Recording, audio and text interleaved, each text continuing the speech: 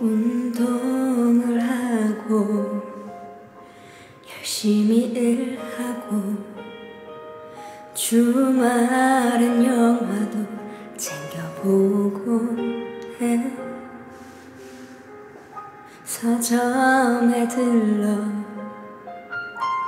책 속에 빠져서 낯선 세상에 가슴 설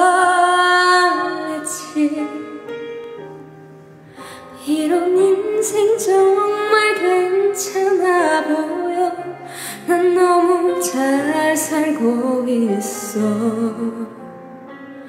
언데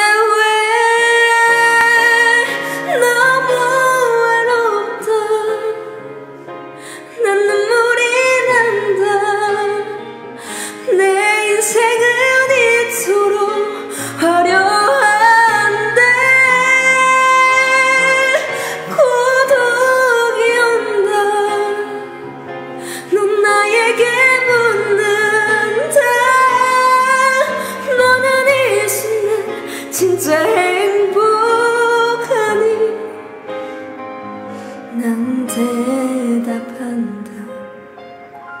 난 너무 외롭다. 내가 존재하는 이유는 뭘까? 사랑이 뭘까? 난 그게 참 궁금해. 사랑하면서 난또